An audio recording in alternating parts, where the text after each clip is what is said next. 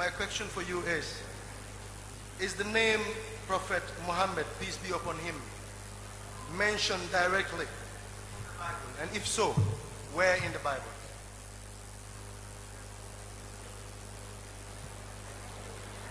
Brother asked the question. Our Christian brother has asked the question that is the name of Prophet Muhammad, peace be upon him, mentioned in the Bible by name? And if yes, where? If you read the Old Testament in the Song of Solomon, chapter number 5, verse number 16, in the original Hebrew, it says, Hikko mamitakim, Hikko mamitakim, Vikulli Muhammadim, Zaidudi Zairai Baina Jerusalem. Which means, which means he is more sweet, he is altogether lovely, he is my friend, he is my beloved, O daughter of Jerusalem. Now here if you read in Hebrew, Hikkum mamitakim vikulli Muhammadim. Now in the Semitic languages, when you give respect, you add im. So to the word of Muhammad sallallahu they have added im. Like how for Allah means God, Elohim is respect. Similarly for Muhammad sallallahu they added for respect as Muhammadim. But they translated into English. So when you read the English Bible, it reads that he is more sweet, he is altogether lovely. So the word Muhammadim, they have changed into altogether lovely. You cannot translate a proper noun. Can you? No. If you say Mr. Black, in Hindi I cannot say Kala. Kala means black. I don't know how do you say in, in your language. So for Muhammad, it should have been Muhammad itself. So the, in the Bible, in Song of Solomon, chapter 5, verse number 16, Muhammad is mentioned by name. Besides being mentioned by name, there are several prophecies in the Bible about Prophet Muhammad, peace be upon him. I can give a talk on that. And in Ghana, the country I'm going next from here, my first lecture is Muhammad sallallahu alaihi in the Bible. I will not have time to give you the details. I'll give you references of few of the prophecies. In the Old Testament, Muhammad has been prophesied in the book of Deuteronomy, chapter number 18, verse number 18. In the book of Deuteronomy, chapter number 18, verse number 19. He's also prophesied in the book of Isaiah, chapter number 29, verse number 12, as well as Song of Solomon, chapter number 5, verse number 16.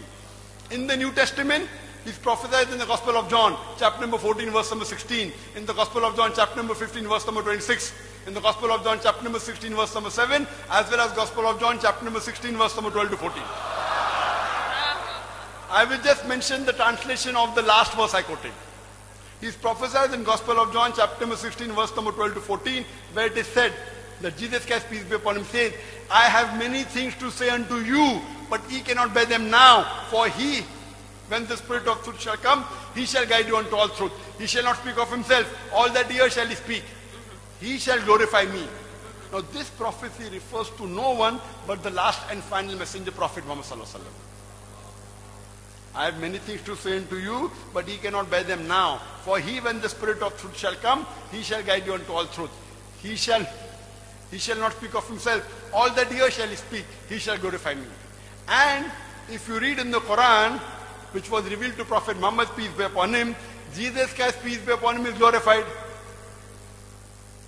And it is also mentioned in the Quran, in Surah Araf, chapter 7, verse 157 that it is mentioned in the scriptures, the law and the gospel about the coming of the last and final messenger Muhammad sallallahu alaihi. They believe in the prophet, the unlettered prophet, which is mentioned in the law and the scripture. It's mentioned Surah Saf chapter 61, verse number 6, that Jesus Christ, peace be upon him, was sent as a messenger to the Bani Israel, giving glad tidings giving, reconfirming the laws that came before and giving glad tidings of a messenger to come whose name shall be Ahmad.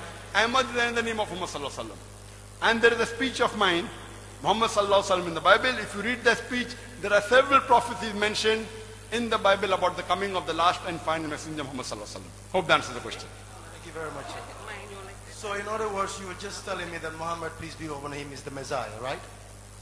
He is the messenger.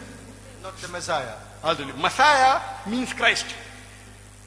If you read in the Bible, if you read in the Bible, if you read the Gospel of John, it says, Are you, are you the Messiah? Asked to John, John the Baptist. He said, No. Are you Elijah? He said no. Are you that prophet? He said no. So that prophet is Prophet Muhammad. Messiah is Jesus Christ, peace be upon him. There are many prophecies in the Old Testament about coming about coming of the Messiah, which is Jesus Christ, peace be upon him, which we also believe. We have to believe in Jesus Christ, peace be upon him. But all the prophecies what the Christian claim is for Jesus Christ, peace be upon him. It is not for Jesus Christ, peace be upon him. Many are about Prophet Muhammad, peace be upon him. Because there were many messengers sent by Almighty God. And as I told you, a Muslim cannot be a Muslim unless he believes in Jesus Christ, peace be upon him. So many prophecies in the Old Testament talk about the coming of the Messiah, Jesus Christ, peace be upon him. Means Christos. But there are many prophecies also about Prophet Muhammad, peace be upon him. And Jesus Christ, peace be upon himself said in the red letter Bible. Red letter Bible means, means what Jesus himself spoke. Even in the Gospel of John chapter 16 verse number 7. Nevertheless, I tell you the truth. It is expedient for you that I go away. For if I go not away, the comforter shall not come. For if I go, shall I send him. This comforter is talking about Prophet Muhammad, peace be upon him. I want to ask you now, brother. Do you believe in the last and final messenger, Prophet Muhammad, peace be upon him? Yes, I do.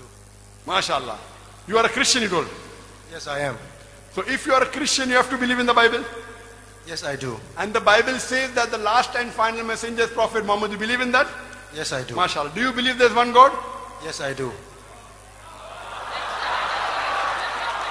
Do you believe that Jesus is God? No, I don't. MashaAllah. So if you believe that Jesus, do you believe Jesus is a messenger? Yes, I do. That means you're a Muslim. If you believe there's one God, if you believe Jesus is the messenger of God, and if you believe Prophet Muhammad is the last and final messenger, you have fulfilled the minimum criteria of being a Muslim. Muslim means one who submits his will to God. Would you like to say the Shahada? Yes, I will.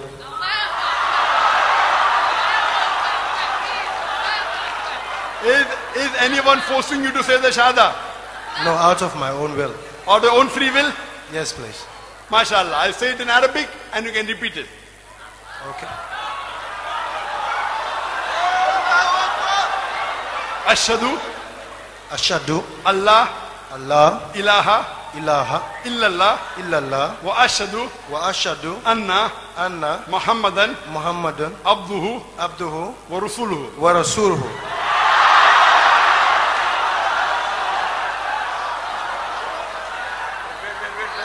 I bear witness.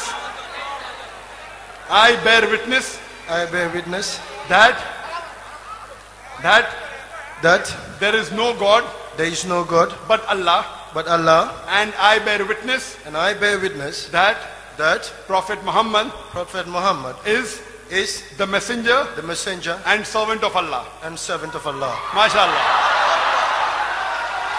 May Allah reward you and I pray to Allah subhanahu wa ta'ala that may He grant you Jannah. Thank you very much. Our beloved Prophet Muhammad sallallahu alaihi wasallam said, the moment any human being accepts Islam, all his previous sins are forgiven. All. And all the good deeds that you did will yet be in your account. But all the sins you do that you have done in the past is wiped out. I pray to Allah subhanahu wa ta'ala grant you Jannah and may you be instrumental in spreading this message.